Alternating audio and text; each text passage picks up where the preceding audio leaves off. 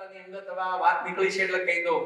હું જ્યારે ચાર વર્ષનો હતો, ત્યારે ખેતરની અંદર મારી મમ્મીને મેં રોતા જોયેલા. અને કદાચ હું વાત પૂરી ના પણ કરી શકું મારાથી, અત્યારે રડી જવાય કદાચ એવું બને. ત્યારે એ બાળ સહજ માનસમાં મને એમ થયેલું કે મારી મમ્મી પાસે પૈસા નથી. એટલે રડવું આવે છે. ત્યારે એ ઉંમરે મેં મમ્મીને પ્રોમિસ આપ્યો કે હું પૈસાનો વરસાદ કરીશ. તમે રડોમાં આ પ્રોમિસ આપેલું અને એક નિષ્ઠાથી કામ કર્યું એટલે ભગવાન આ સફળતા અપાવી છે.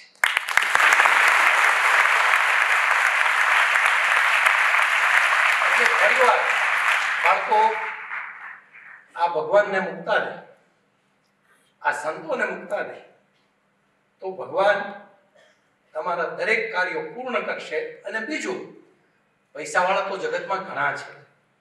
પણ એ પૈસાનો ઉપયોગ બીજા લોકો કેમ હેરાન થાય એવો કરતા હોય છે. દાઉદ પાસે પૈસા છે ને? દાઉદનું નામ સાંભળ્યું તમે? એની પાસે કેટલા બધા પૈસા છે ખબર છે? આ આખું રાજકોટ ખરીદી લે એટલા પૈસા છે. પણ એ કામ શું કરે છે? બીજાને ખૂન કરવાનું, બીજાને મરાવવાનું. તો આવા પૈસાને શું કરવા છે?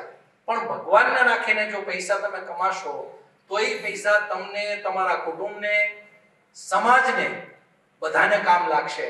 અને અંતે તમે જ્યારે આંખો મીચશો, ત્યારે તમે એક સુખ સાથે આંખ મીચી શકશો કે હું અહીંયા આવ્યો તો. કબીરજીએ કીધું ને કે ભાઈ એવું કામ કર, તું જ્યારે જગતમાં આવ્યો ત્યારે લોકો હસતા હતા પણ હવે એવું કામ કર કે જ્યારે જાય, ત્યારે તું હસતો હોય અને આખું જગત રડતું હોય તારા માટે.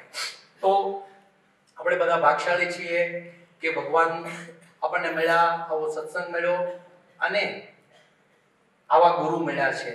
અને આવા ભગવાન મળ્યા એટલે જીવનમાં તમે ક્યારેય અસફળ થવાના નથી નથી ને નથી જ.